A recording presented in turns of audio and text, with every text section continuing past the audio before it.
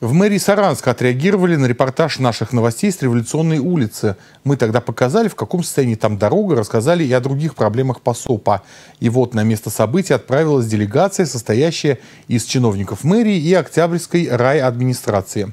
Посмотрели своими глазами, что мои коллеги ничего не придумали, дорога на самом деле в жутком состоянии.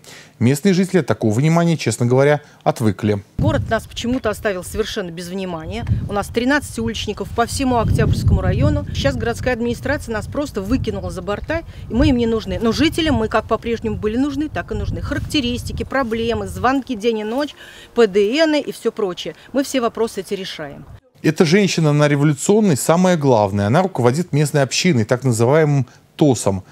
То есть это как домком, только в варианте для частного сектора.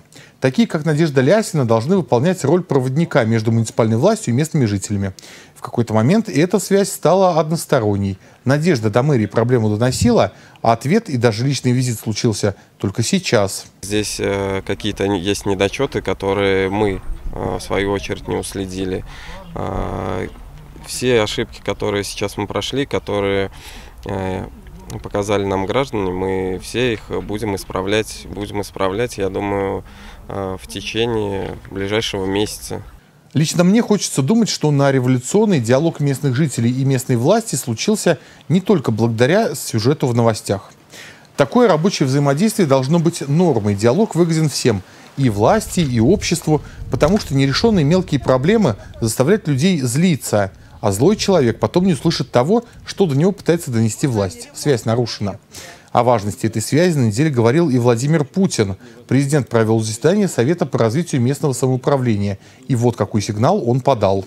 Очень важно и дальше выстраивать результативную обратную связь с гражданами. Муниципальные власти, безусловно, должны находиться с жителями в постоянном контакте, внимательно слушать и слышать их запросы и чаяния. Быстро реагировать на эти запросы.